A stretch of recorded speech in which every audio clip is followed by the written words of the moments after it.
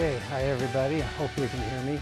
Um, kind of had a rough week last week with some surgery and stuff, so I didn't really, um, uh, wasn't able to take a lot of time to, to organize this, and so it may be a little skeltered, uh, but I found that, you know, after 50 years or so of uh, attending these types of seminars, you learn a lot more if it's just very informal and uh, everybody gets in and starts uh, uh, contributing, then, then that, that's when you really learn a lot. So um, in order for it to flow, I think uh, you, I'm going to need questions from you guys. So um, the other thing is uh, Aaron announced this, uh, this was about electronic components, and I think he got a little bit of pushback because um, a lot of you guys say, I'm never going to be a repair technician. What do I need to know about electronic components? But it's the easiest way to express to you how some things work. And there aren't very many. All we're going to talk about today are capacitors, coils, and resistors, and they all have a, a function and uh, I'll be demonstrating a little bit to you about the effects of, of all of them and where they're used and so on and so forth. So anybody have anything before we get started? Okay.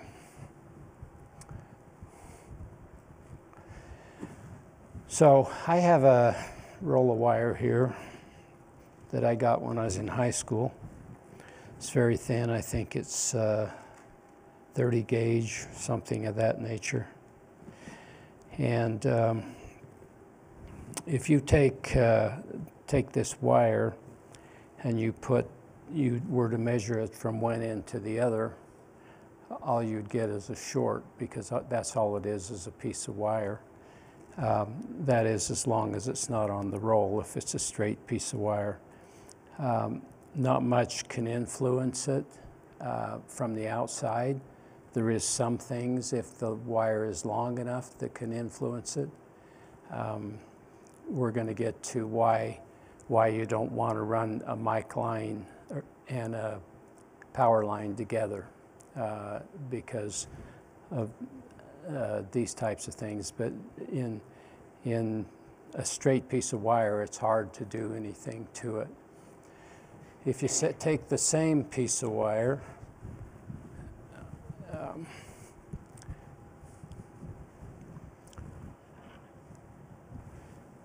so I took a, I took about 10 feet of the wire and I made a coil.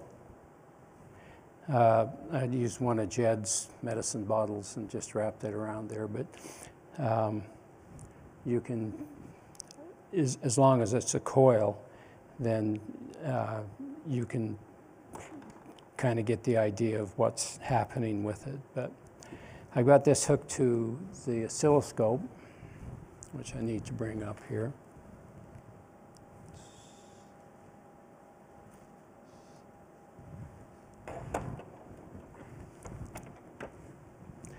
Get that as quiet as I can. Um, the, the voltages that we're dealing with are so low that the oscilloscope kind of goes crazy a little bit with the noise in the air. But this is that coil. And if you think this piece of wire can't, cannot generate electricity, I'm going to take this magnet right here and move it in close proximity to the coil. You see what's happening there? Now, if, if I were to hook the coil to a diaphragm, say, and the diaphragm would vibrate with the sound waves from my mouth, um, then the coil would move. And if you put the magnet as a permanent magnet, the coil would move within the magnet. And all of a sudden, what you have is a microphone uh, a dynamic microphone. We have one here.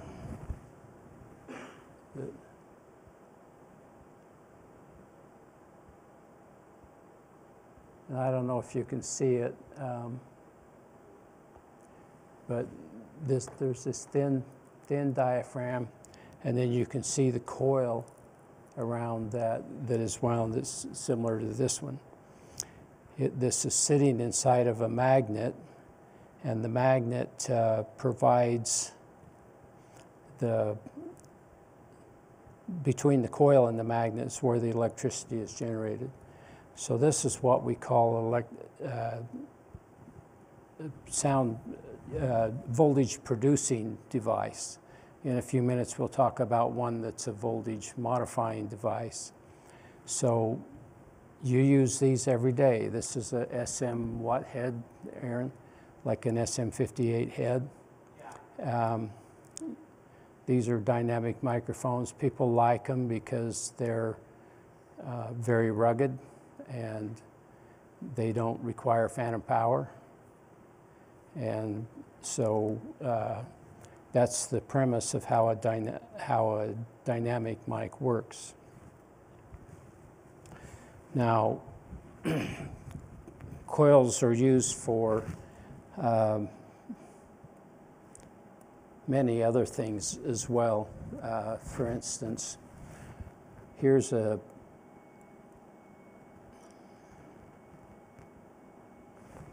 This is a crossover coil. I actually just took pictures of these yesterday. So um, that's this, and this is a coil that deals, that you have inside your crossover. Now coils um, are what have a, a, property about them that they call inductive reactance. And so I've got a little demo here for you to, to show you what they do to frequency when you so what I've got here is uh,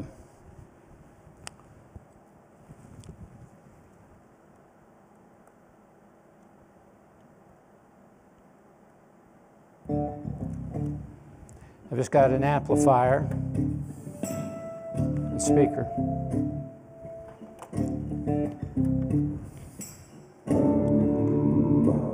Not too bad. Um, what I've done is just broken one of the lines and I'm going to put it put the coil in series with it. So here's the original. Here's through the coil. Hit the road. We're married now, nine months gone, and you know we're talking about a hell of a walk. And they had no What happened? You what? Yeah, it's passing low frequency and it's not passing high frequency. So this is the make of a, this is the start of a, of a crossover. What they are is, um, and I'll show you how these are put on paper. Um, so a coil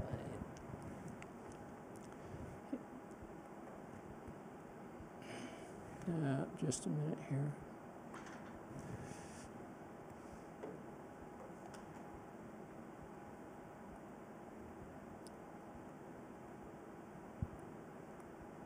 These are the two leads that you hook up. Um, and in a schematic, it's represented like this. So if you ever see on a schematic uh, this, this kind of a symbol here, that's a coil. And so th those are two uses of uh, coils so far. Um, but they come in all different types of things uh, and they come in different values. Like this coil here is a 0.9 millihenry and I've got one here that's a little bit bigger. You can, if you're using them for crossovers, you've got to have, make sure that you're using big enough wire to deal with the power that you're putting in, yes.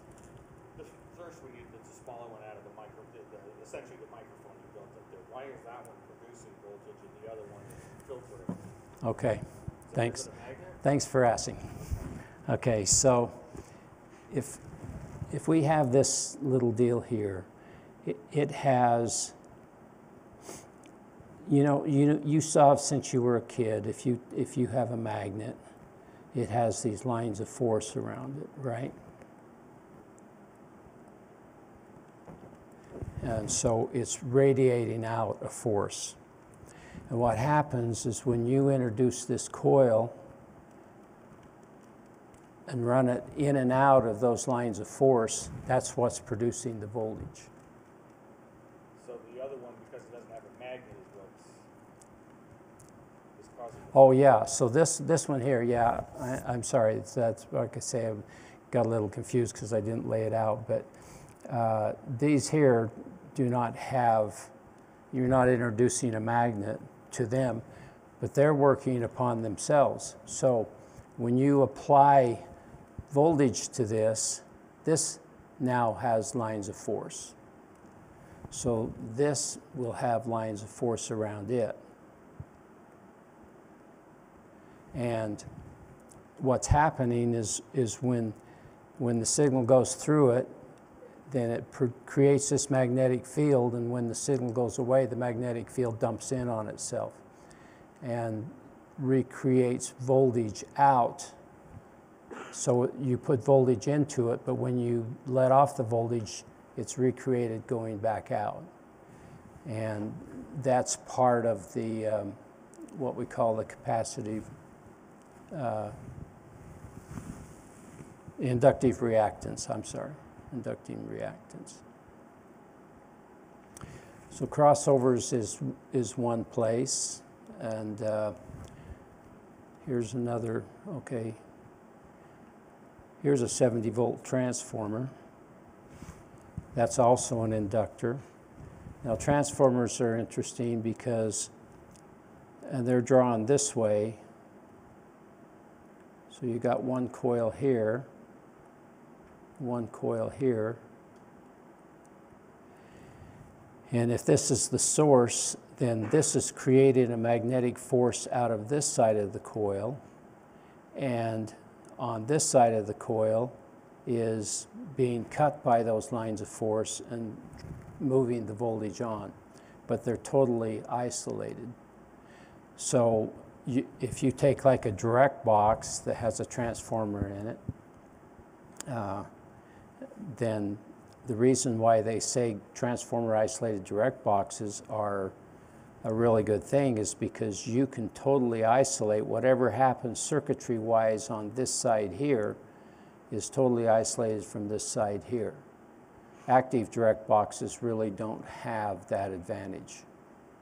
Um, but what active direct boxes have is the ability to, to they're a portable device that doesn't is not really hooked to anything, you know, if what I'm saying. And so you don't really get that much problem with a with an active direct box um, like you do with uh, but the tr the transformer if you want total isolation between the two. And you guys have all heard hum on a system, and then you can use a direct box to get rid of it. Uh, or use the direct box for plugging your guitar into, into a mic input. So uh, the, the difficulty with transformers is that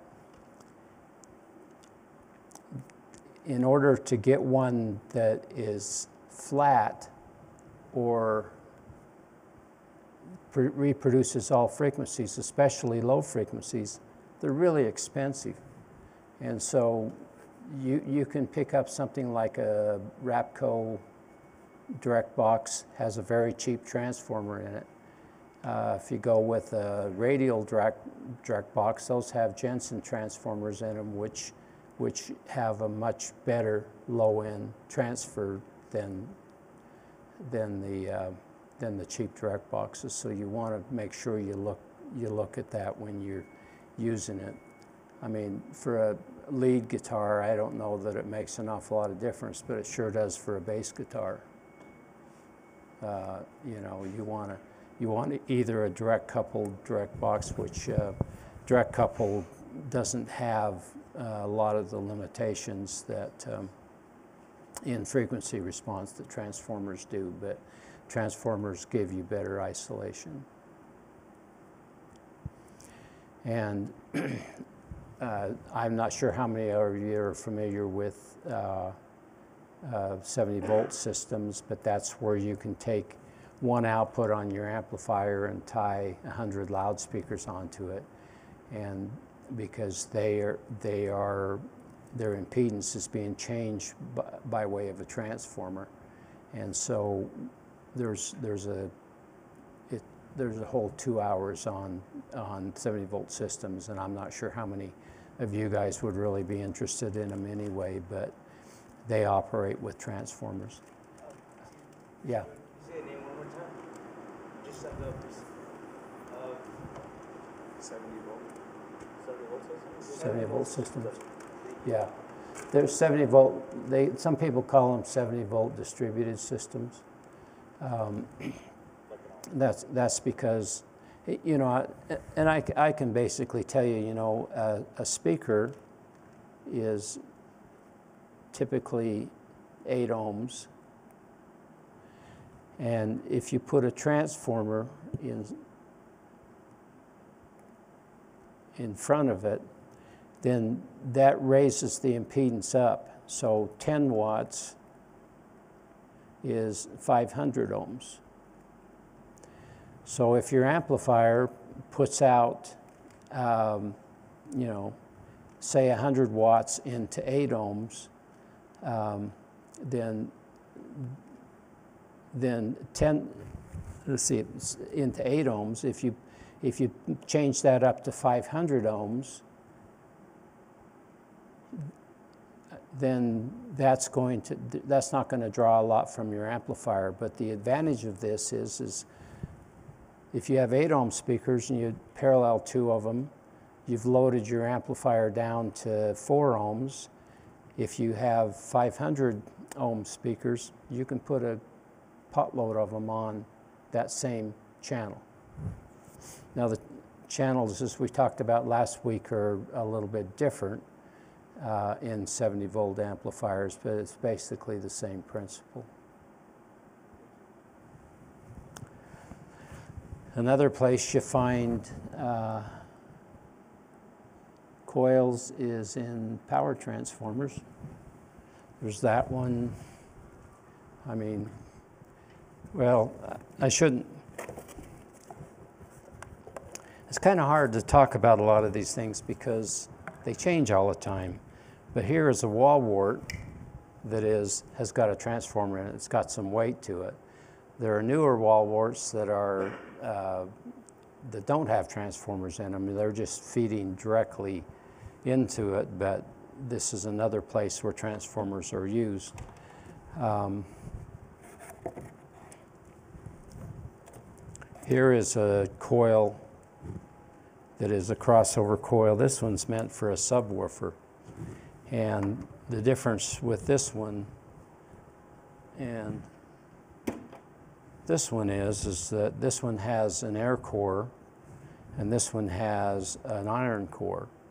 The iron core allows you to get much bigger values. So this is 0.9 millihenries and this one's 3.5. And so if you're if you're wanting to limit what's coming out of your subwoofer uh, at a lower frequency, then you need something like this. But you have to be careful with these because they can have so much magnetism in them that the iron saturates. And so uh, don't, we don't like to use iron unless it's absolutely necessary. But if you got a 3.5 millihenry choke, that, I mean, um,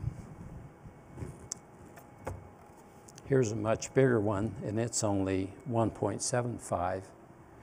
And so, can you imagine what a three would be? It's it's a big, huge roll of copper, and uh, if you're going to try and put that in a cabinet, number one, it's heavy. Number two is where in the heck are you going to put it? You know, they're just when they get too big like that, uh, they're just hard to deal with. So that's why they let they go down to iron core. Now it's not it's not such a bad deal, you know, for like a car stereo or something, uh, uh, even a home hi-fi. But but you guys are dealing in public address, and public address has lots of headroom. And so you, you kind of want to be cautious about using those. But as we discussed last week, uh, most of that is done uh, active anyway, where the subwoofer gets a, a different um, uh, amplifier channel that's crossed over electronically. And uh, but a speaker like this one has built into it a crossover because there's a low frequency in a horn, and and uh, the so you can put just one signal into it and get both of them out, and that's why it's got the crossover.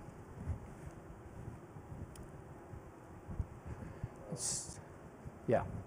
Ever, what, what happens when like a like a coil breaks? Do you, do people just replace them, or do they go through and find where the, the break is in the winding? Or is Yeah. rare? most of the time, um, okay, a loudspeaker works completely opposite.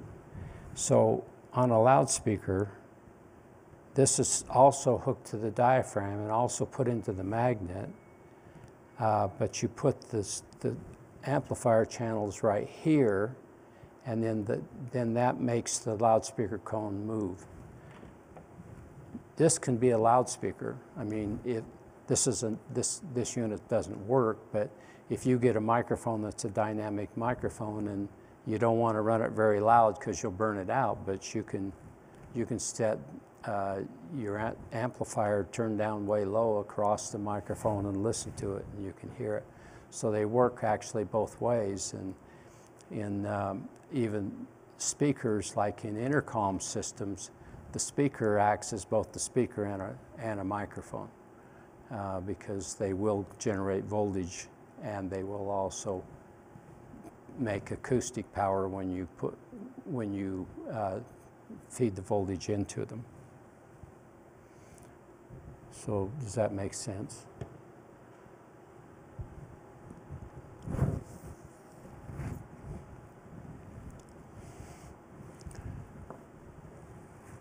Excuse me a second, I, I left my water in the back there.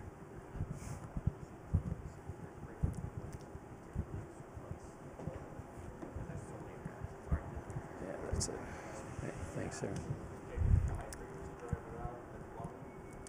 Sorry. Yeah,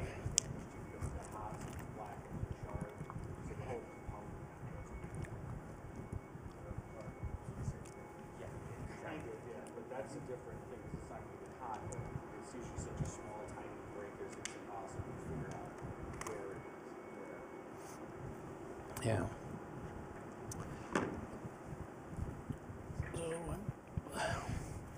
Now, uh, this inductance thing, um, like I said earlier, can be, um, the coil makes it convenient because the magnet can be concentrated in this thing that they call a gap. And a gap is the area, see if I can draw it here for you. So a, the magnet would be something like this.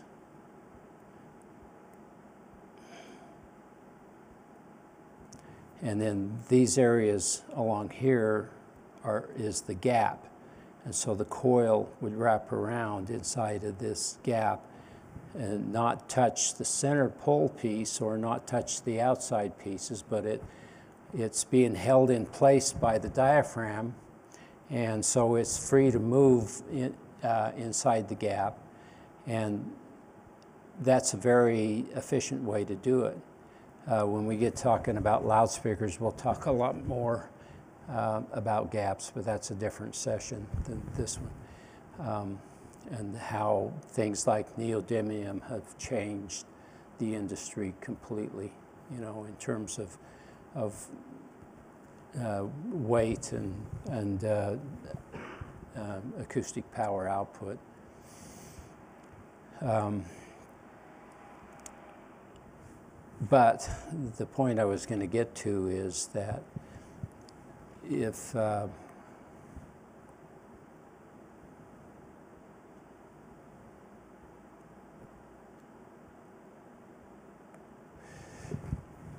if you have a piece of wire just straight, and I did that again, sorry, and then you lay next to it a um, a power wire. The power wire has these lines of force that go out from it because it's acting as a transformer. It's not wrapped up and not concentrated in a small thing, but it's putting them out. Well, these things are going over and they're interfering with the mic wire or interfering with the signal line because they're introducing hum into it. Um, used to be a bigger deal than it is now. Um, in my early days, I was doing a, a, a rodeo and um, had my amplifier set over and the uh, with, with underneath the loudspeakers and the the mic wire run over and the only place you could get power was in the booth. So I plugged in power in the booth and then ran the power line and my line together and it just hummed and I, I couldn't figure out what was causing it, you know, because I had, didn't have any experience, but turned out that that's what it was. Figure it out. Okay. So we've touched a little bit on that we're gonna, we're gonna uh, go a little bit more in depth with it, but I want to introduce capacitors right now. Um, a capacitor is, is a very interesting thing. It's probably the most unique um, passive electronic component. And they're drawn, they're drawn this way you have a plate here and a plate here. And so this, this, one, this, uh, this side over here would be like input to the capacitor and this side would be output from it. Um, these have to be associated with a circuit, however. And uh, I didn't really mean to get into circuit uh, theory at all, but in order for it to work right, you have to understand that it has to be part of a circuit. But what these do is they store energy. And so when you apply, if, if this is like a DC um, power supply, and you apply a negative here, then all of the electrons in this go in and they occupy this plate. They push all of the positive parts of the atom out and just have the negative. Um, and at the same time, this one is going positive. See, because this would be your negative side out and this would be your plus side out. And so these, these are all plus. So it's storing it similar to what a battery would do. Uh, they're different than batteries. So if you all of a sudden drop power, then this thing supplies an instantaneous amount of energy uh, to make up for it. Um, the car stereo guys, and I don't know how many of you are car stereo guys, but there is um, they have they put capacitors in in parallel with their amplifiers in the cars and you'd think why did they do that you know? I mean you got this huge battery that's running this amplifier. And it's because with when when they when they hit a bass note the amplifier will the, the voltage off the battery will drop. Well the capacitor knows that that's dropped because it it has it stored and it knows it needs to discharge and fill that in. So you you do, and I've heard demos on this, and you do really do get better bass if you put a capacitor in there, you know, to, to store the energy. That's not how we use them typically in audio, but that, that is one purpose of them. Uh, another purpose of the storage is that you have uh, 60 cycle AC coming into your amplifier, and you rectify that down, and it doesn't put out a pure DC. So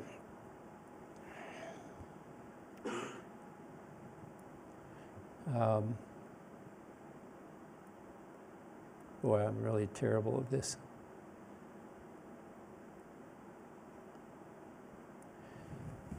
So when the power comes in, and this would be the same way. And this would be, okay, th- this, this is a typical layout for a rectifier and an amplifier to change AC to DC. And the AC would come in here.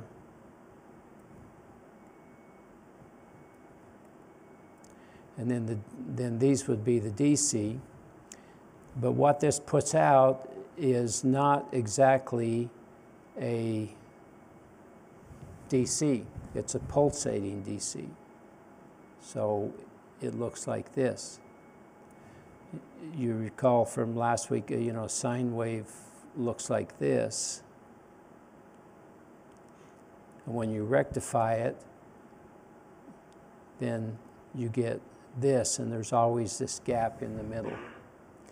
So a capacitor, if you put that across, will fill in the gap because it is it is sensing that something has dropped and it supplies voltage. It's the difference between a capacitor and a battery is the rate of discharge.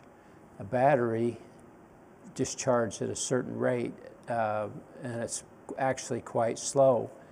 A capacitor is an instant discharge device, so it can it can discharge really rapidly, and so what you end up with on this is a line DC that has been filled in.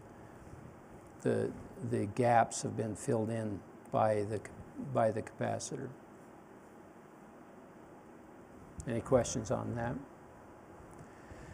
That's not how we usually use them. We usually use them in AC.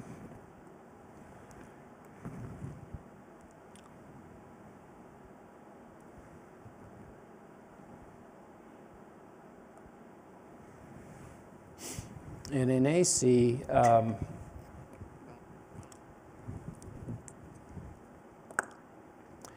the the plate is always changing, so we come in back in and draw, draw our capacitor. Oh, and by the way, what I neglected to tell you is that there's a dielectric here. This is a non-conductor. So if you put a D, if you try to measure a resistance across this capacitor, you won't measure anything because this insulator right here is preventing the DC from going from one to the other. It's only when they charge and then discharge that they're putting out any kind of energy whatsoever.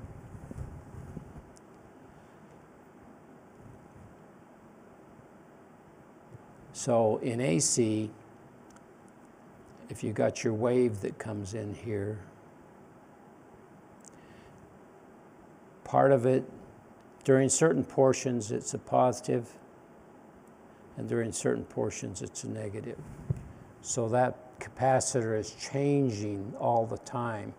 So the plate is going from positive to negative, and uh, the other plate is also going from positive to negative, but at a, a delayed time.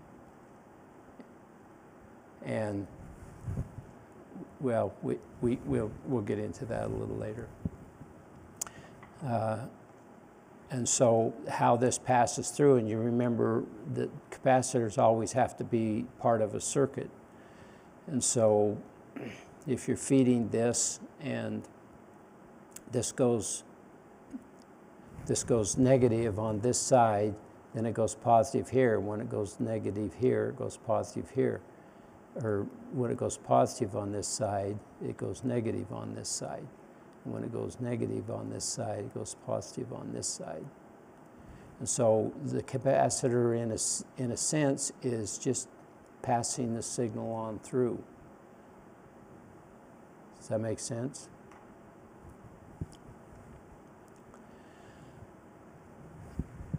Capacitors also have um, what they call capacitive reactance.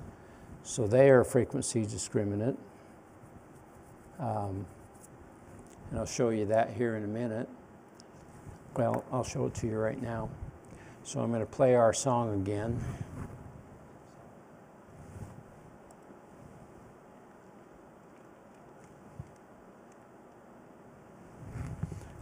Okay, I've got the two leads here. Now I'll put the capacitor in.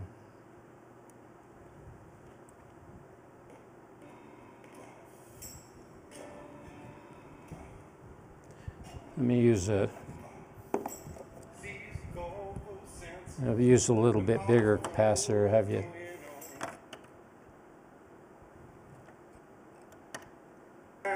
gone. Talking about it. They had no place to stay. They tried hotels. The message was plain as Hear that? day. Okay. So, and that's caused because of, because of a, what they call a capacitive reactance. Now, both coils and capacitors come in all different values, and uh, there's all different types of them. Um, this, this one here is a ceramic capacitor, and that, what that means is that one lead is hooked to one side of the plate and the other's hooked to the other plate. And in between the two plates is a piece of ceramic, a glass, if you will.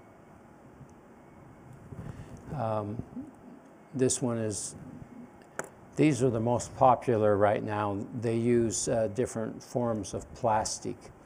Um, when capacitors first started being built, they didn't really have very thin plastic. And um, so they would use a lot of things like paper, but paper was very um, environmentally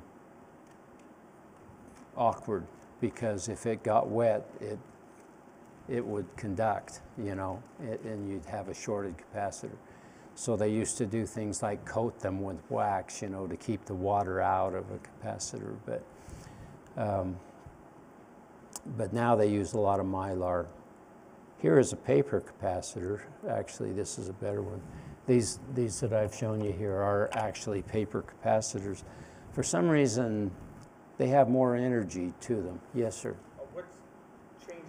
Capacitance? Is it the material or the distance between the plates? Okay, what, what a capacitor is, is it's these two plates with the dielectric in it, and what changes capacitance is the size of the plates.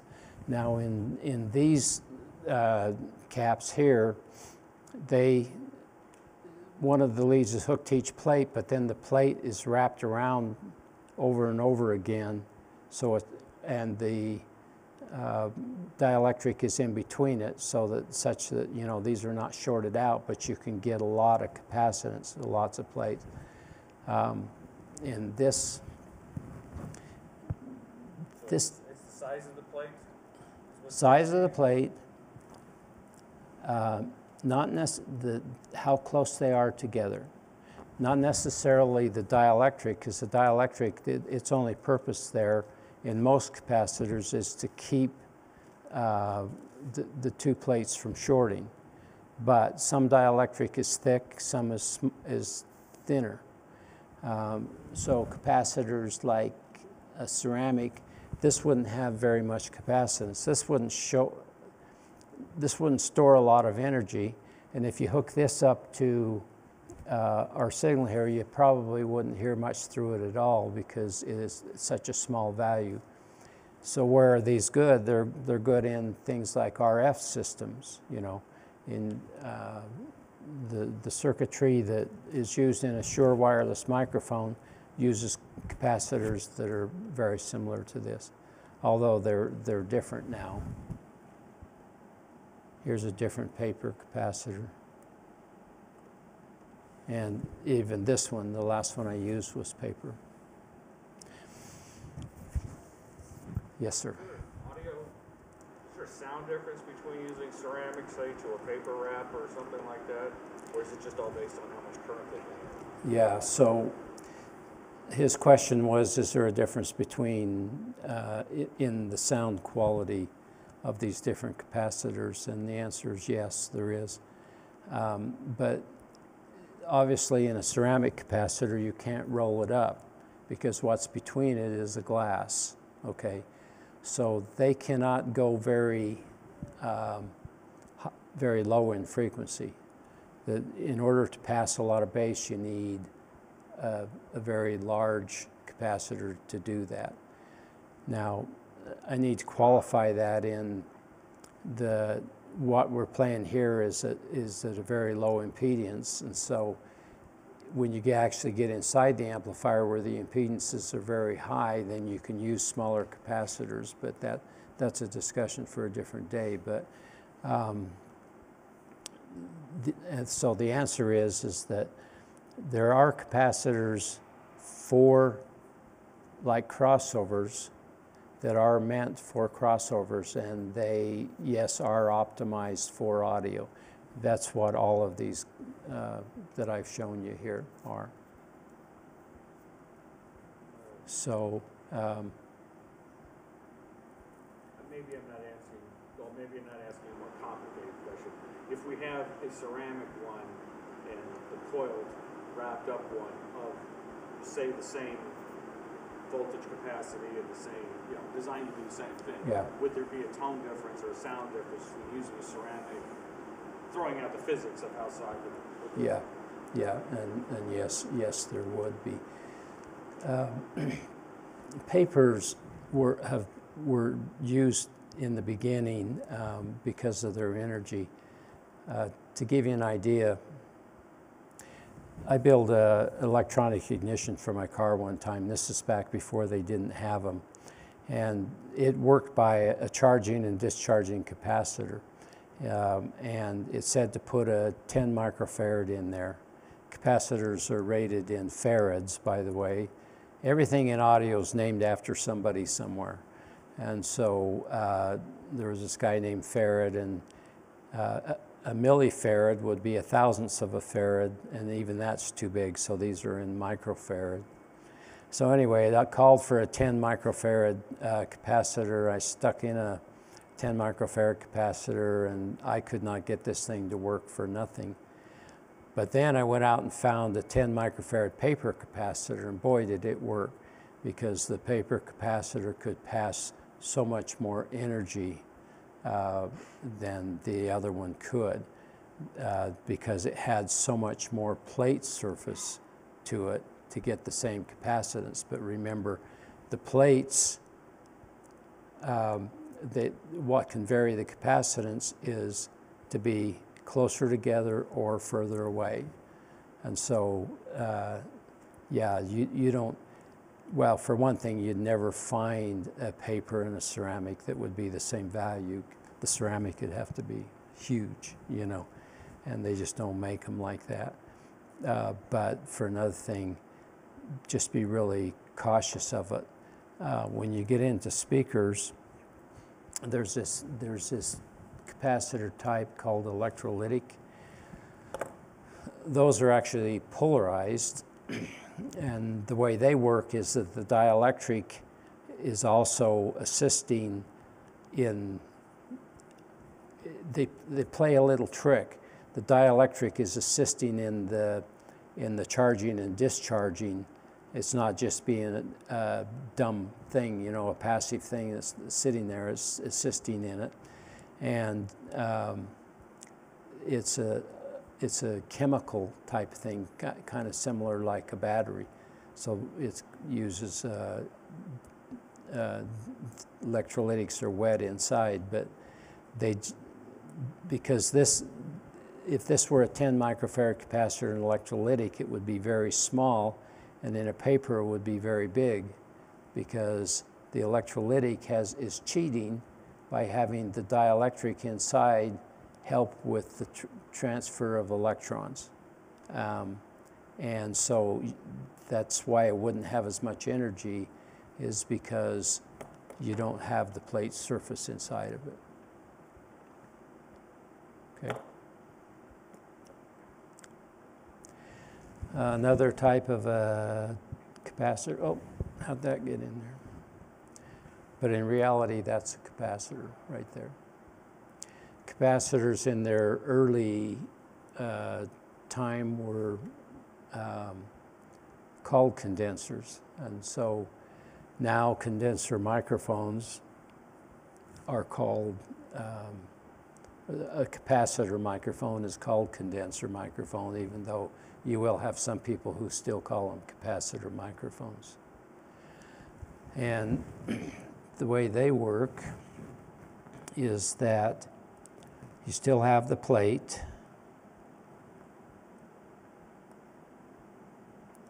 The two plates, so there's the capacitance between. Um, it- they'll solder a wire onto this coming out this way. And they solder a wire coming out this way.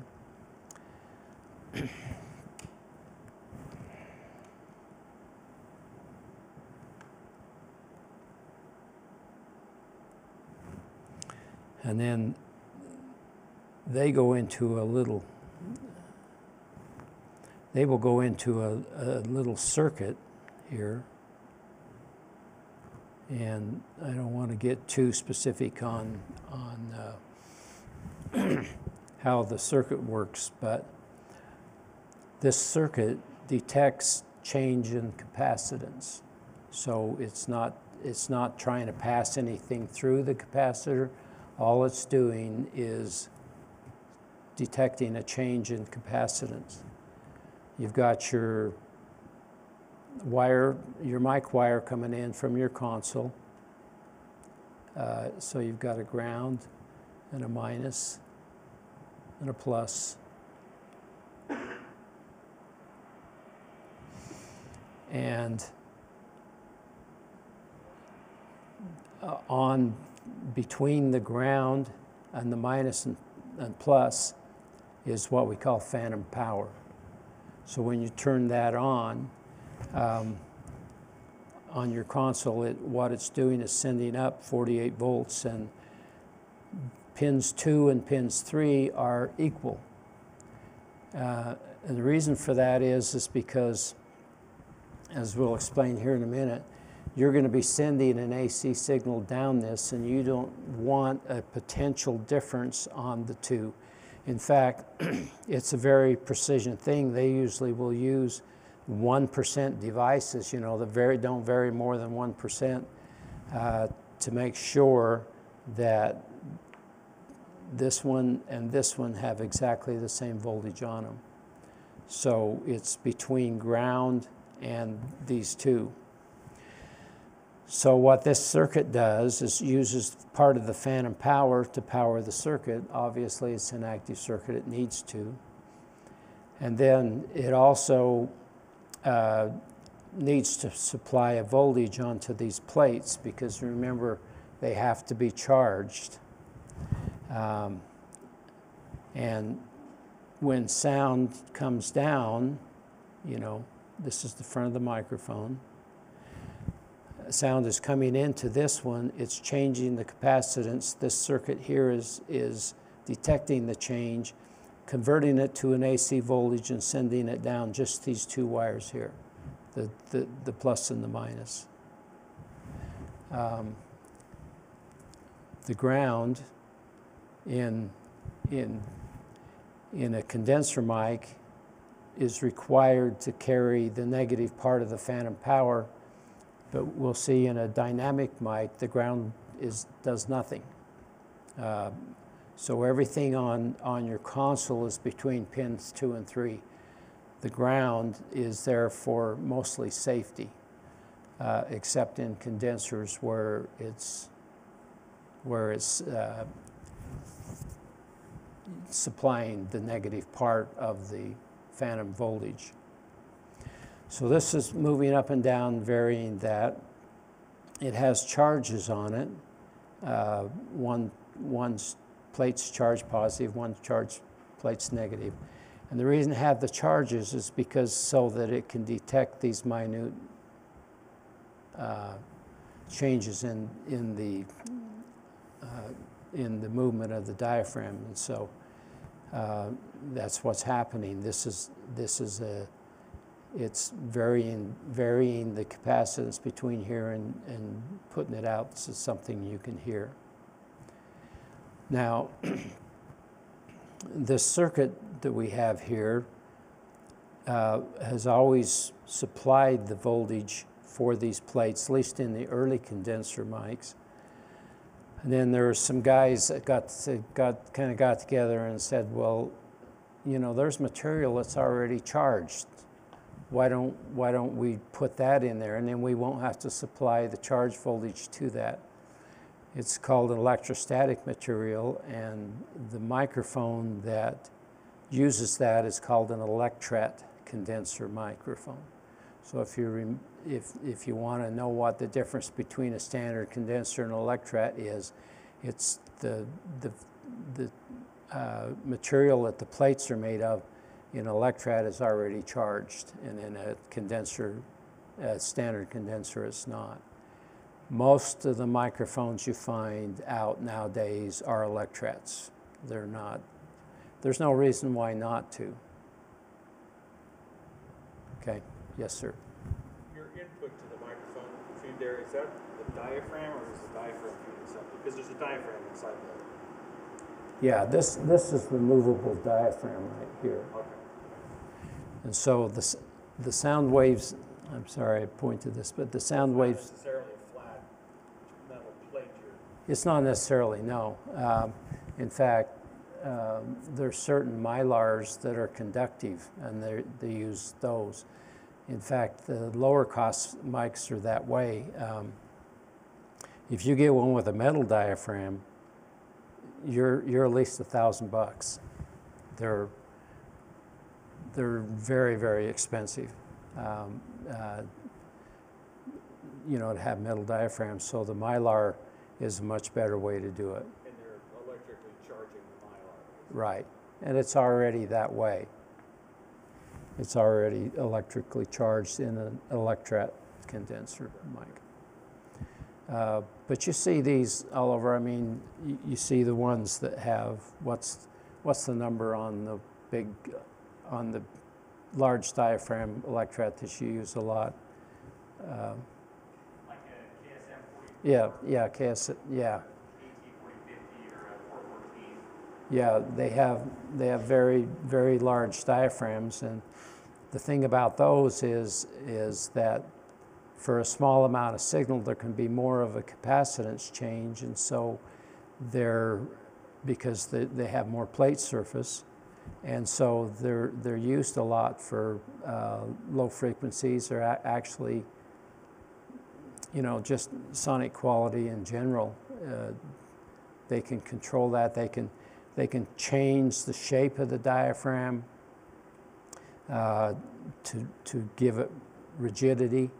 Um, on this on this one here,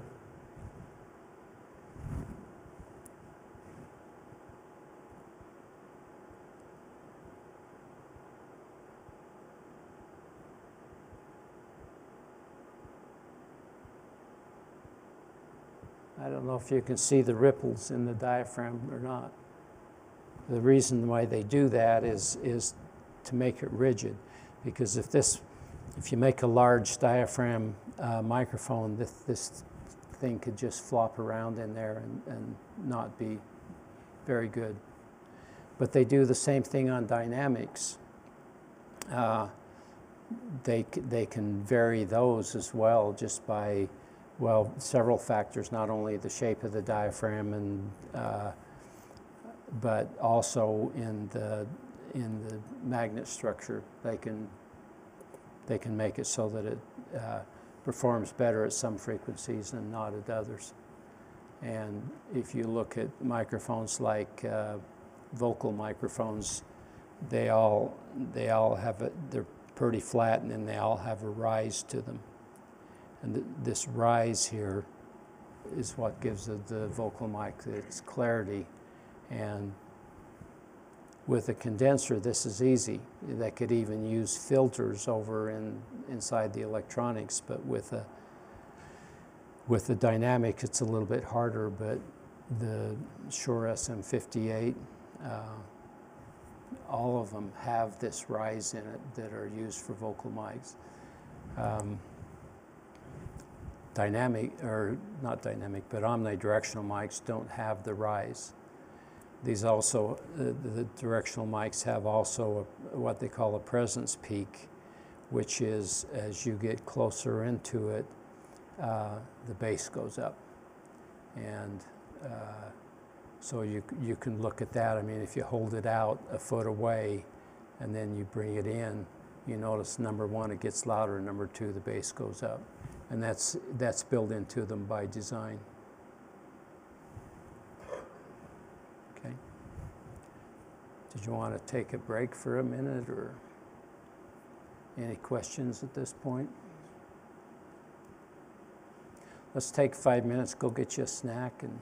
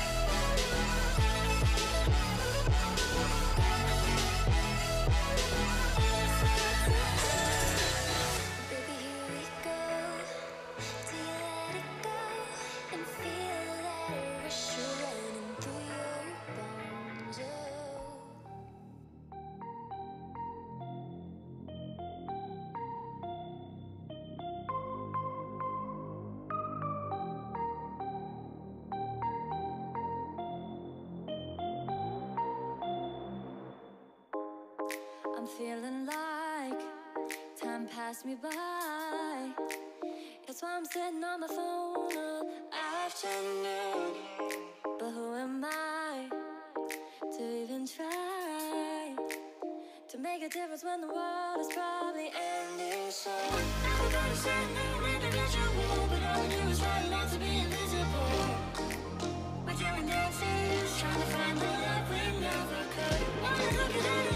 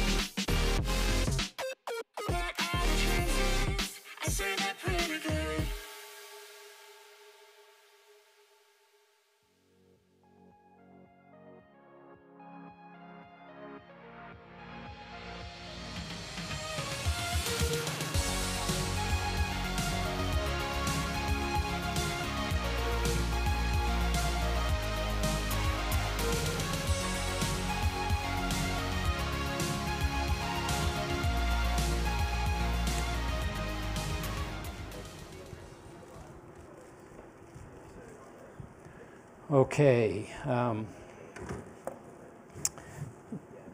Tyler pointed out to me there was something that I forgot to, to tell you, you know, in differences uh, in condenser microphones and, and dynamics. Um, they, they both work pretty well, except that this one has a lot more mass to the diaphragm. In other words, you have not only the diaphragm, but you have a coil hooked to it. It's moving the coil within the magnet. The magnet is between the two is also putting up a resistance, and so when they say sensitivity on microphones and how much more sensitive uh, condenser microphones are, is because of that. It, the, there's no mass because all you're hooked to is that plate, and then all that plate's doing is moving in free air and moving closer and further away from the second plate. So uh, we'll look at that a little bit when we look at uh, uh, spec sheets. In fact, uh, we probably should look at spec sheets right now. So this is a specification on an SM58. And what you need to look at mostly is the, okay, you see. Well, go down to where it says sensitivity. Um,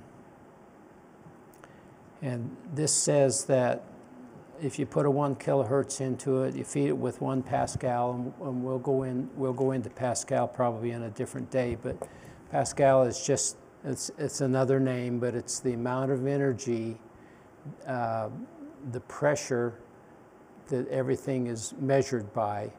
And so uh, if you put in one Pascal, it puts out minus 56 um, dB in volts. And, and I know we haven't talked about dB yet. I don't know, maybe Aaron did.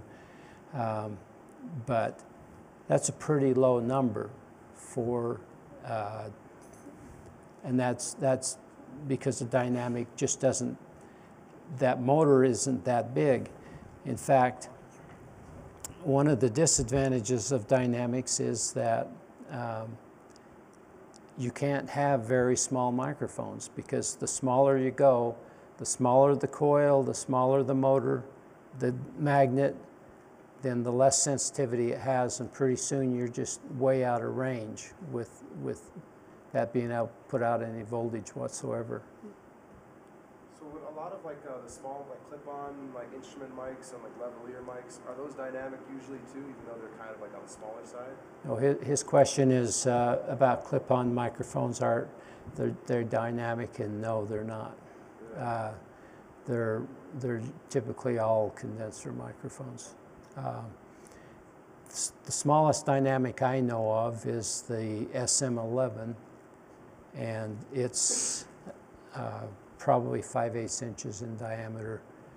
Um, instead of that putting out minus uh, 56 it would probably put out minus 80 or something like that because it just doesn't have a lot of energy. In contrast, if you go over to, this is the microphone that I showed you. This one puts out 9 millivolts per Pascal. The other one puts out 1.6 millivolts per Pascal. Yes, sir. That is the, is that frequency dependent, or is that, is Pascal Well, just th- th- this is, uh, this is at one kilohertz, and yeah, it would, it would be frequency dependent. Because the other one showed it at a lower frequency. This is showing it at one K. Let's see, we're at 250. There's probably no difference at that, at that point. You know, I mean, no, the, the whole, the whole point of this is just to show you that because you have a 48 volt phantom supply, a condenser is a- capable of putting out a whole lot more and at a lower noise level. Uh, because when you try to amplify these very weak dynamic microphones, um, you have to turn things way up and is not only amplifying the microphone, but also uh, the diaphragm, but also the noise that's coming in on the wire and everything else. Can you test uh, with a multimeter the output of the mic, or it's just you got another spec sheet? Um, I've never done it. Um, you, you probably could, but you'd have to get you a test set up saying that you had something that put out the one, put out uh, sound and then a tone, say, and then you would have to extrapolate how, the distance over here to make sure that it were one Pascal when it got over to this side. So it's very difficult to do. They do them in laboratories. They don't. They don't do them. So those are the two things on specs that I wanted to show you about. Um,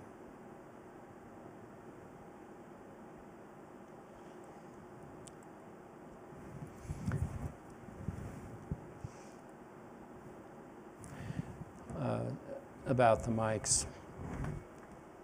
Um, what makes a mic directional? Anybody care to gander on that one? The, uh,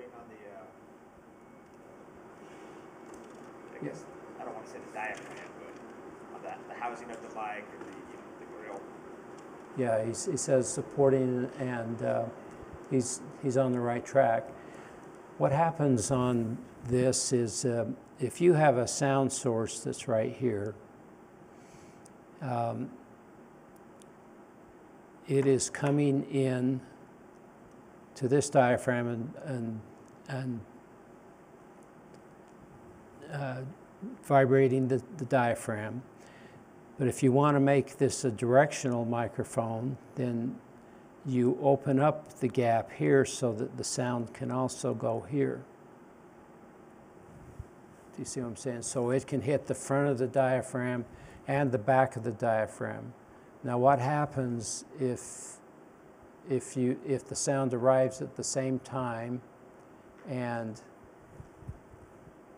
you've got it push one way pushing one and the other one pushing out Phase problems? well I don't know. it will we'll, we'll, we'll, we'll kind of get it's not exactly phase but the the problem is is if you've got pressure coming down on one thing and an equal pressure coming up nothing happens it doesn't move and so the way a directional microphone works is this talker is here and he's going straight into it and he's he's able to move it here and then whatever gets comes back around this way gets canceled out. So the front doesn't get canceled out. So you see what i'm saying? The, you're talking into the mic and you're you're going straight into it uh, this is the shortest path and then there also has to be a path around this way. Well, the short path, nothing attenuates it, but on the rear path, it makes it directional. Does that make sense? You see how that works? Now, yeah, What's causing these subtle differences between cardioid to say supercardioid? Is that It's- distance or is that just? it's, it's the direct, yeah, yeah, the, it's just the, the way that they rate the di- directionality. There are a lot of different mics out there that, and yeah, they do have different distances and different ways of getting the sound into the back. Um, you've seen, I don't know how many of you've seen the old Electro Voice mics, but they, they had the capsule up here and then they had a long tube and the tube had several slots in it. Um, sound is, Aaron's talked to you about how it is waves, but there are wavelengths. And so the, the time that it takes for a low frequency to go is different than the time on a high frequency. So if you've got all of these ports up along and you want to make it directional to a lower frequency, then you put then you put the ports in and then it picks up each frequency that comes along and cancels it out. And the ultimate is like a shotgun microphone uh, to where they're very directional, but they can cancel out a lot of the, they can cancel out frequencies pretty darn low, uh, you know, because of their length. Um, not down to 20 hertz. Uh, 20 hertz, the wavelength is 56 feet. That, that would be a big shotgun microphone if you wanted to cancel down to that. But thousand hertz is one foot. And so when you talk about these things being directional, they're not directional at all frequencies. You kind of have to look at that, and a lot of manufacturers will will put out uh, charts on their spec sheets that show you what it does at different at different frequencies. But uh, it's a, when when you go with microphone selection, it's all about the personality of the microphone. You know, some guys suck on to one thing, some guys suck on the other, and that's more of a topic for Aaron. And I'm just trying to. Uh, trying to give you an idea of what makes them directional and, and so is there any questions on this part of it?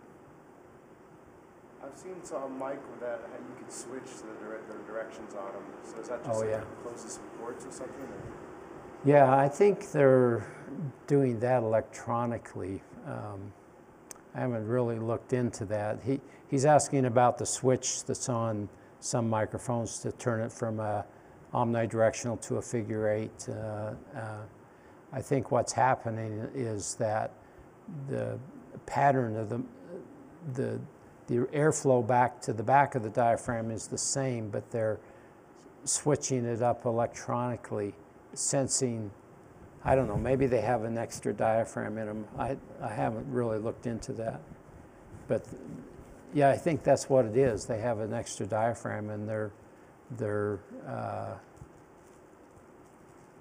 switching between those electronically. Yeah. Um, any more questions on directional microphones? Or omnidirectional microphones? Aaron, do you want to talk about, for a minute, about um, what you use where, or Tyler?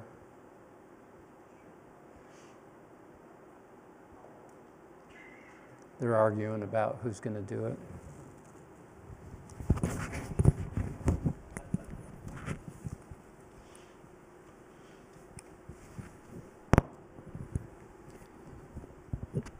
Nothing like being put on the spot, I guess. So here we go. Um, did you want me to talk?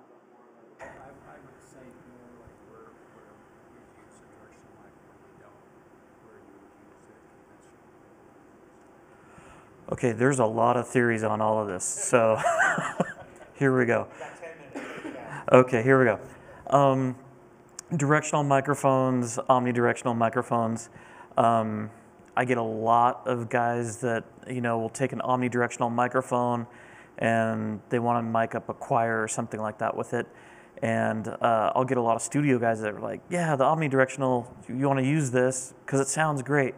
And that might be great for uh, the the studio where there's no live reinforcement.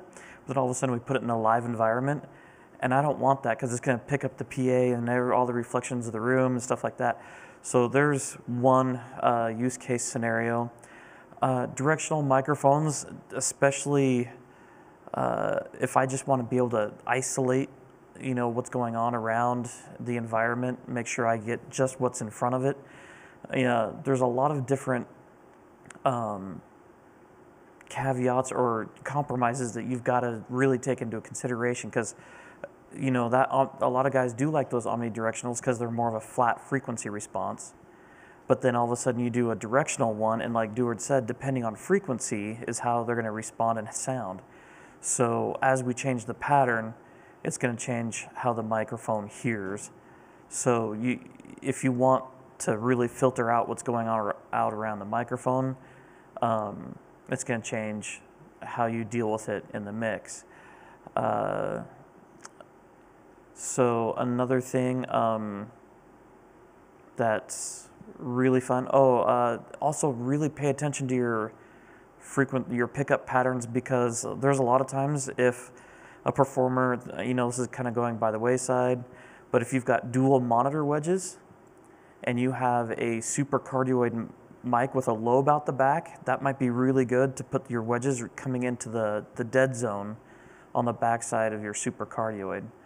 Whereas if it's a single wedge, you might want to go with just the cardioid because there's the dead zone in the backside of the microphone. So really, when we start looking at all the construction, the frequency response, the polar patterns, you know, it, it's really start taking a look at what exactly is the goal that you want and then choose the appropriate microphone for what you're going in for. So you can't just say like, oh, a, a condenser and omnidirectional is going to be always good for this environment or this application because it just is not going to go that way for you. So it's really knowing and becoming the ultimate audio nerd and memorizing all the specs of all the mics that you might want to use. Um, and you, you, want you want to weigh in on this? C- come on up. Just, uh, I'm learning a also use your mic selection kind of as equalization, since they will all respond differently. Exactly. Yeah, now you're not having to fight, put bass in something when the mic's not giving it to you in the first place. Yep, yep. So just a couple notes I've had after learning this today, um, or learning more, broadening my knowledge. Um, as Deward mentioned, these an SM58, this dynamic diaphragm takes a lot of energy, a lot of sound pressure, a lot of air movement to make this diaphragm move. Not only does it take a lot of energy for that, it then may have to send that energy down a long wire through a split. Who knows? You might go through like four or 500 feet of copper to get to the preamp in your console. And what a preamp does is it's taking these tiny amounts of voltage. You saw when he took his magnet on this coil here, the scope only moved a little bit. So we're talking tiny, tiny amounts of voltage that we're going to send down a 500 foot wire. And then we got to amplify that to a voltage that'll work throughout the console. And then we'll pass that on to our big power amplifiers that we learned about, and it'll come out the speakers, which in turn have lots of energy and they're moving a lot of air so that we hear it. When we're trying to amplify such a small voltage, you'll notice on like an SM57 at a press conference or something, you got to turn your head amp up to like plus 50 dB on your console, right? You got to really give that thing some umph. And what you're doing is you're amplifying a lot of noise too. With a condenser microphone, Deward mentioned we have this, this advantageous um, circuit here, which means we've got 48 volts of DC, and so we can actually send a higher voltage down that 500 feet of cable so that our preamp on the console is able to just barely be cracked open because we're actually doing a preamplifier stage right at the source, right at the microphone. We're taking these small amounts of pressure right, at, right inside this capsule on a condenser and, and ramping that voltage right up to where our head amp can be low, so now our signal to noise ratio is lower, right? We're, we're not amplifying noise in a cable because we amplified it in a very short circuit right here. Um, the downside to that can be gain before feedback, right? So um, th- that's kind of my two cents is be thinking about the use cases where if you have an instrument that has a lot of dynamic range, let's say a harp, but really doesn't put out much volume, you know, you walk 10 feet away from a harp and you can hardly hear them playing half the time. Great use case for a condenser. Um, something like a vocal, I probably I tend to lean towards dynamic on that most of the time, unless the vocal is the true uh, is is something really important. But like, I mean, the vocal is important, but like,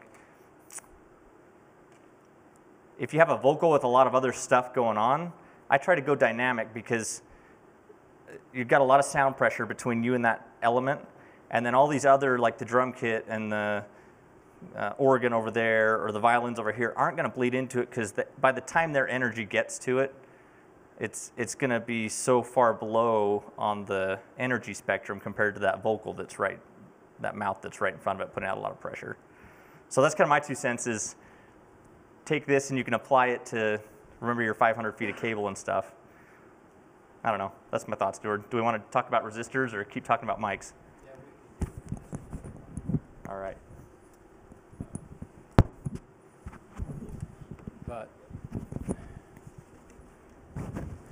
I do want to make sure that everyone is, has no questions. But there was a question came up uh, during the break about tube uh, microphones. And tubes are kind of an interesting animal uh, in respect that there's no conductivity between the plate that takes where the microphone will modulate and the, to the plate uh, where whereas where the output is. Uh, they call it a grid. I don't. I'm searching back to tube days, but um, there's no conducti- conductivity between DC conductivity between that grid and the output. Consequently, they are very, very high impedance inputs. And for some types of capsules, some types of circuits, um, there, it, that is a very good attribute because if you take a, a console like a, like a Yamaha console, uh, we noted that, that this, like the SM58 spec, uh, said that its output impedance was 300 ohms. Um, the input of the console is 2,000 ohms, but the input of a tube is infinite. So some microphones don't like to be loaded. They don't like to see the same impedance as their output as the impedance on the input. And they figure that uh, between 300 and 2,000 ohms is pretty sufficient for most things, and so you don't get it. But we've had situations. How many times have you tried to parallel mics, two mics into one input? You're shooting yourself in the foot because what you're doing, if they're 300 ohm microphones, instead of that 300 ohm microphone looking at a 2,000 ohm input, it's looking at a 300 ohm load and it's changing the response of the mic. And so the tubes is just another way to give a lot of flexibility on the microphone, on what, what it does. Plus, some guys are hooked to some one side of their brain, other guys are hooked to the other side of the brain. Some guys will tell you that there's nothing like a tube tube amplifier. Um, when I bought my turntable, I bought a tube preamp, and I won't go back. I like it. I mean, it's really, it really does is a nice sound to it. It's nice, warm, and it's, it's you know solid state sometimes sounds kind of grainy to me, but. Um, there's a lot to that, you know, and, and I think the reason why tube microphones are sold as they are is because uh, because of that fact. How you know we talked last week about these devices always recreating the sound, and they don't recreate it all equally, and so uh, a lot of people just like the way that tubes do it. So. What other questions do you have about mics?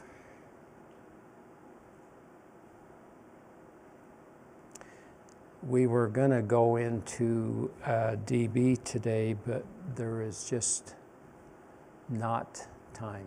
Uh, DB is uh, something that we use all the time, and I've just, uh,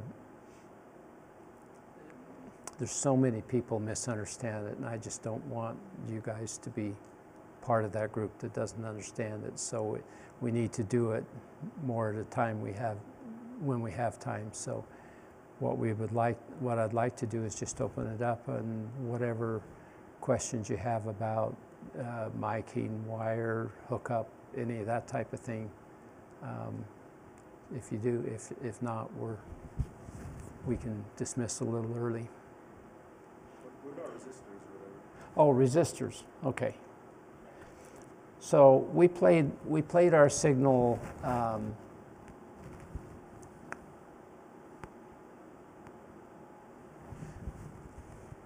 we played our signal through a capacitor, and you heard that it cut all the low end. And this is something else I can talk about in this too. And you heard the, when we put the choke, it took away all the high end. A resistor is just, a, just resistance. All it is is it doesn't distinguish anything with frequency. So I can hook. Uh,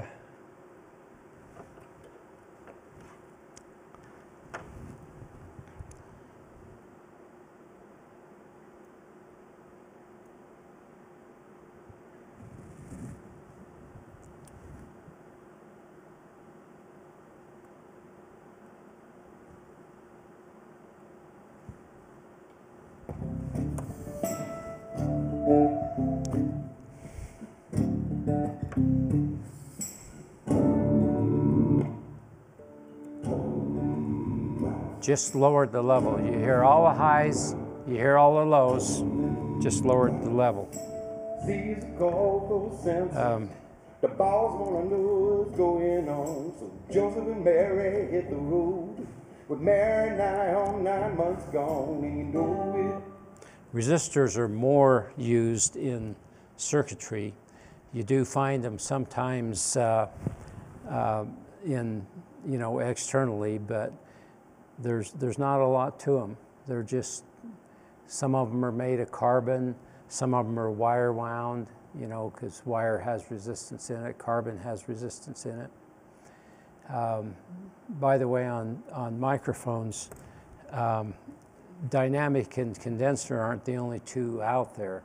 They're, but they're the two most prominent. Um, yeah, I don't know if how many of you have looked at a really old telephone set, but those use a carbon microphone. And what a carbon microphone is is um, it's taking the signal, rotating the diaphragm and varying resistance. So they have a circuit that where the varying resistance is what's producing the sound instead of the varying capacitance. And so, because they're feeding a voltage into it, the carbon, the carbon granules inside are changing resistance and changing the voltage out, and it will actually reproduce it. Terrible sounding devices. They're, they're, they don't go very high in frequency. Um, another type of microphone that was very popular in high school was um, uh, uh, crystal microphones. And turns out that there is a, there's a type of material out there, it's called a crystal, and if you hook a wire to one side of it and then you poke a wire into the other side of it, when you move this wire around that you've poked into it, it'll produce a voltage. And so they hook a diaphragm to the wire that you poked into it, and that's moving in and out and producing a voltage out that goes out. Um, again, those had issues with them, temperature and uh, all, all kinds of issues. So you never see ceramic microphones anymore. What you see is uh, condensers.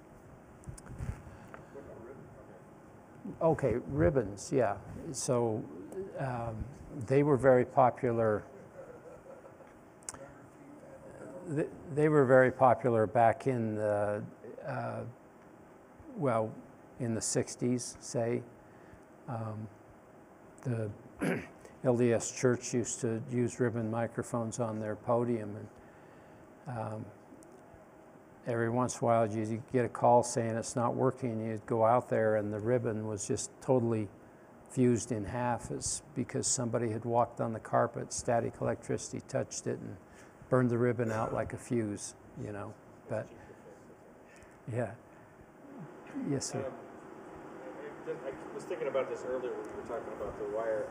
There's certain cables out there that are listed as in, in, in their ohms. Like we're talking from video line is usually 75 ohms, and RFs are 50 or ohms on back back. But I, I can't figure out where, what they're measuring to come up with these ohms ratings. Is this per thousand feet or per 500 feet or what? Because there's also capacitance in there as well. Well, what's changing the, the, the, the, the what's what's changing in the wire or the copper or whatever is to make this one a 75 ohm and this one a 50 ohm or whatever you want to do. Well, strangely enough, it's capacitance and inductance, but what, the- when they rate those, they always stipulate, a- stipulate a frequency with it. Um, When I was working younger as a technician, about the highest we would go on a TV distribution system was 100 megahertz. Now, you don't see anybody installing anything under a gigahertz. And uh, it's because wire and everything else has come along, but on a piece of coaxial wire and, uh, and, a, and then a wire going up the middle, there is capacitance over distance between that center wire and the shield. That capacitance, just like this, is, is only on, on this one we had it in series, but it's like shorting the signal out to ground. and so it's limiting high frequencies. Or maybe, if- like, if I got two hunks of wire here, one's here, one's there, how do I figure out what, what they're doing? How do I measure that? Is there some Um, way I can measure it without lab equipment? Well, uh, if you're asking about um, how you tell between a 50 ohm cable and a, and a 75 ohm cable, you, you look at it because there's, when, there's no difference. You just have to look at the rating on it. Uh, in fact, in some things, in some wireless, if, if you don't have 50 ohm cable, all you have is 75 ohm cable, then you can substitute it. I- No, That's no just problem. one of the things I've run into, where it's like, Yeah. talking from like line cable to say A- AES rated cable.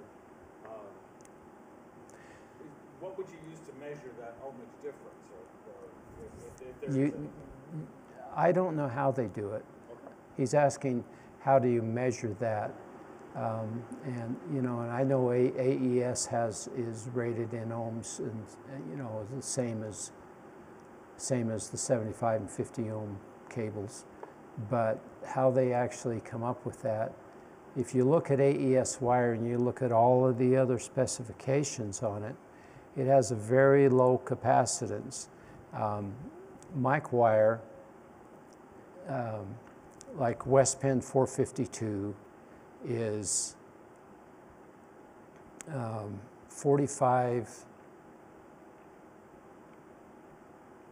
point, I can't remember, 0.45 something. Um, I don't, it's, anyway, it's, it's, the capacitance is actually quite high. If you go with 454 wire, that cuts down to, to 34.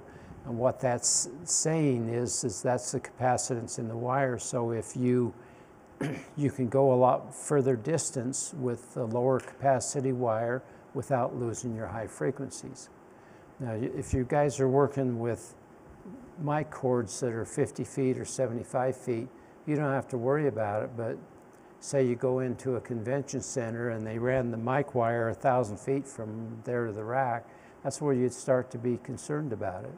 And so most of those types of jobs, um, the, the wire is specified to be a lower capacitance wire. And so that's one of the things in AES wire that's that way because uh, digital is not an analog signal, it is a bunch of on and offs. And it has high transient, and any type of capacitance can screw it up really bad because it, it, it acts like a very high frequency. And so in, in AES wire, which is just digital, that capacitance has to be low. But I don't know how, how they, where they come up with the different ohm rating on it. I'll have to research that. Um, So, I've heard it has something to do with the amount of twists per inch in the cable. that's the way it is in category cable. Yeah, I don't know if that's true. I'm just trying to figure out how to Yeah, figure out what a hunk of wire can do if we Yeah. have it sitting here. yeah. I, that's what I was told. Whether or not that's true or not, I have no idea. Yeah, it makes sense because that's the way category cable is. Um, I, there's one thing I can show you here that.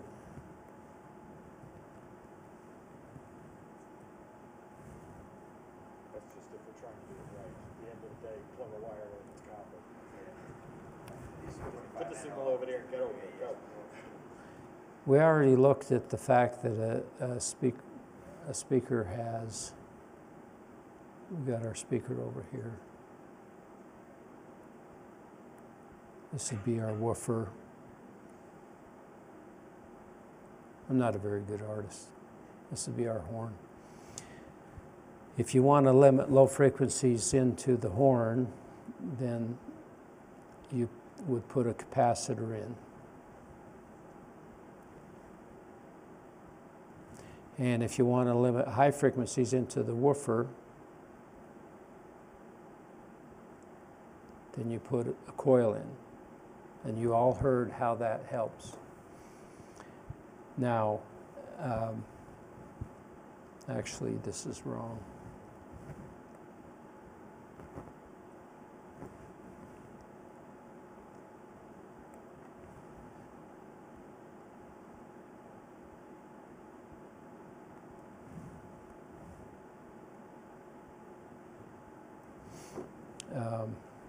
So you've got your, you also have your ground that comes to both speakers. What, what'd you say, the coil takes out the high frequency? Coil takes out the high frequency, capacitor takes out the low. What this would be, would be what they call a first order filter. Uh, it's very predictable that the capacitor will, once you pick the spot, and pick the spot requires the impedance of the driver and the capacitance value. And so, say you want to, um, say, say you want to cross over at uh, 800 hertz, um, you'd, you'd have a value of a, you know, a 5.6 microfarad into a, into the 8 ohm driver uh, would give you 800 hertz. But this 800 hertz would be at 6 dB per octave, very gradual.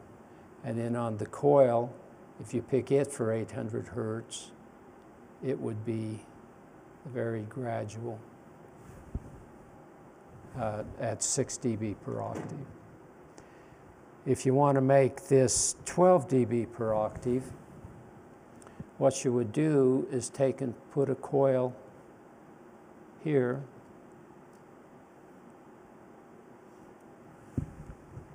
And so you're passing the high frequencies through to the driver, and then you're having a coil that takes the high frequencies back and shorts them to ground. So all of a sudden, on your you're, you're at 12 dB per octave, so your slope looks like this. Same thing on this one. You want to make this 12 dB per octave, you put a capacitor here. And so on and so forth. Um, I've seen filters up to 48 dB per octave. And all of that does is you put another capacitor here and another coil here, and then you just keep going. Um, so this is 24 dB per octave right here, and then you double that in order to get 48 dB per octave. Yeah. Would you be able to talk about uh, how changing the, those slopes affects each uh, phase response? the phase response. Phase, um, number one thing to remember is it's always frequency dependent, okay? And with all of these filters comes a phase response. Um, in fact, if you've ever heard the, the term Linkwitz-Riley filter, um, Linkwitz-Riley is looking at that phase and trying to match it up between uh, low frequency and high frequency. So uh, I wish I had my notes with me to uh, show you what this what this was, but I don't have them. But um, with this being first dB per octave, 6 dB per octave, it has a phase curve that's associated with that. 12 has a phase curve that's associated with it, so on and so forth, you know. Um, there's some guys, there was a company called Fender that uh, put out third, third order filters. That's where you wouldn't have this coil here, you'd have two capacitors in one coil. And they, they took that phase change that that filter made, and I, I promise you, I'll, on a future class, I'll get these notes and, and show you what all of these phase curves are. In fact, uh, I can measure them and show you exactly, you know, on the measurement what they are. But, um, but the Fender would take that, and it turned out that, that it's going to be better if we reverse the polarity on the high end on a third order filter. Um, on a first order filter, you don't want to do that. On a second, you don't, but on a third, you can, you know. Uh, and you, you actually see some speakers that change that, change the polarity. So phase is frequency dependent, polarity is not. Uh, if you're putting out a positive at uh, 500 hertz, um, and then you turn, you change the phase, then that's a negative at 500 hertz. And so the phase cancellation that's within these, uh, it's really hard to predict. And it's not hard to predict electronically, and that's what I'll show you, but it's hard to predict what you'll come up with because this, this has a woofer where the back of it is right here, but the back of the horn is clear up here. So there's a difference in the time, the time that it takes the woofer to get out versus the, the horn to get out. So I can't answer your question today exactly, but uh, if we do a, a class on uh, filtering and networks and, uh, you know, phase is, is really, really important. Uh, people don't realize it. I mean, they, you listen to the amplitude of a speaker and all the attention's put towards the frequency response, the amplitude. But you look at the same speaker and has a lousy phase response, it, it, it really does make a big difference. And what they're really talking about are time differences uh, between, between two parts of the signal. And that's what phase really is. The at the same frequency, a time difference. Um, so I don't know, just not prepared to do that today, but it's a very important topic. I've, I've uh, been involved in, in uh, teaching phase two, and so I've got a lot of notes on it. So, sorry. Any other questions?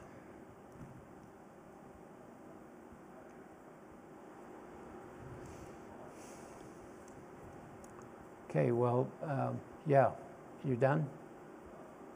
Okay. How do we do time-wise? About 10 minutes early. Appreciate your coming. And what, what do you got on tap next, Aaron? Um, we don't really have one scheduled because of construction in the warehouse, so it'll probably be about a month out. Yeah, probably in January or February of the next class. Yep, we'll send out an email class. What, do you, have you decided what you're gonna do it on? Not yet, not yet.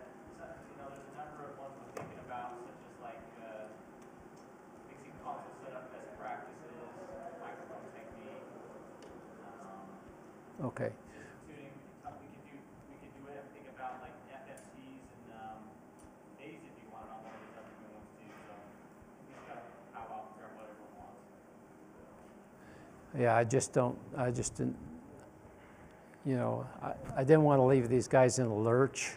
And if, uh, if, if you're going to do one on phase and this type of thing, then we'll, Phase is definitely a high priority on the list. okay. How's everyone in the class feel? Is that kind of what we want to do next, is maybe a deeper level like measurement of phase, jump into FFTs?